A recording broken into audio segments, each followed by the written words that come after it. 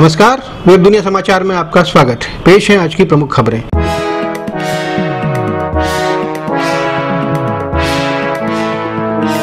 श्रीलंका को रौंद कर दक्षिण अफ्रीका सेमीफाइनल में।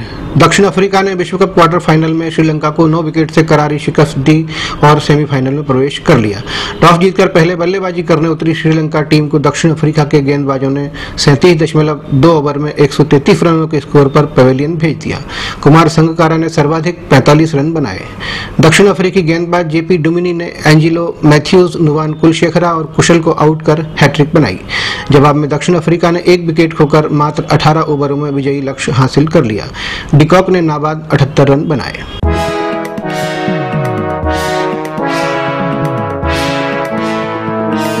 सोनिया गांधी, मनमोहन सिंह, स्मृति ईरानी जैसे बड़े नेताओं ने नहीं भरे बिजली पानी के बिल। कांग्रेस अध्यक्ष सोनिया गांधी, पूर्व प्रधानमंत्री मनमोहन सिंह एच डी देवेगौड़ा, केंद्रीय मंत्री स्मृति ईरानी, नजमा हेपतुल्ला और रामविलास पासवान, उन 300 से अधिक सांसदों में शामिल हैं जो बिजली, पानी के बिल नहीं भरने के कारण नई दिल्ली नगर पालिका परिषद के बकायादारों में शामिल हैं।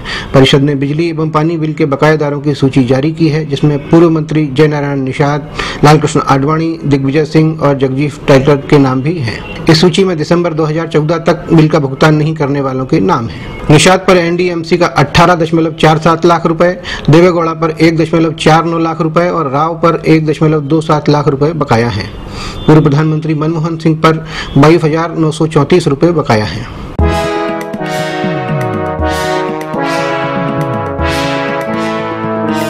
इंदिरा गांधी जनरल वैद्य के हत्यारों का शहादत दिवस मनाने का संसद में हुआ विरोध। संसद के दोनों सदनों में बुधवार को कांग्रेस ने पूर्व प्रधानमंत्री इंदिरा गांधी एवं पूर्व सेना अध्यक्ष जनरल ए एस वैद्य के हत्यारों का शहादत दिवस मनाए जाने का कड़ा विरोध करते हुए आरोप लगाया कि इसे रोकने के लिए पंजाब की अकाली भाजपा सरकार कुछ नहीं कर रही है। पार्टी ने मांग की कि संसद द्वारा एक प्रस्ताव पारित कर ऐसे प्रयासों की भर्सना की जानी चाहिए। इस मुद्दे पर सरकार ने कहा कि वह इस तरह के किसी भी आयोजन के पूरी तरह खिलाफ है। शून्यकाल में राज्यसभा में इस विषय को कांग्रेस के अश्विनी कुमार ने और लोकसभा में रवनीत सिंह ने उठाया।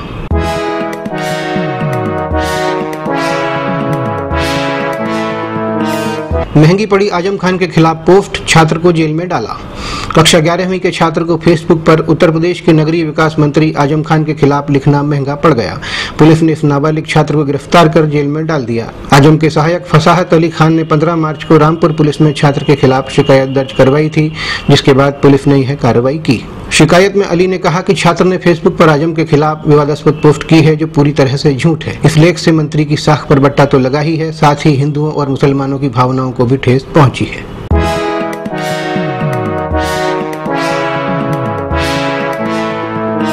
साइनाइड मिले लिफाफे से व्हाइट हाउस में खलबली। व्हाइट हाउस में उस वक्त लोग सख्ते में आ गए जब उन्हें एक साइनाइड युक्त लिफाफा मिला। इस बात की जानकारी यूएस सीक्रेट सर्विस के प्रवक्ता ब्रायन लियरी ने दी। बताया जा रहा है कि जो लिफाफा व्हाइट हाउस को मिला है, उस पर उसी व्यक्ति का पता है जिसने पहले अमेरिकी राष्ट्रपति के आधिकारिक आवास पर मलमूत्र से भरा एक पैकेट भेजा था।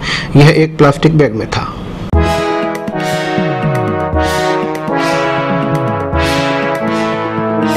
ये थे अब तक के मुख्य समाचार। और ज़्यादा जानकारी के लिए लॉग इन कीजिए हमारी वेबसाइट डब्ल्यू नमस्कार।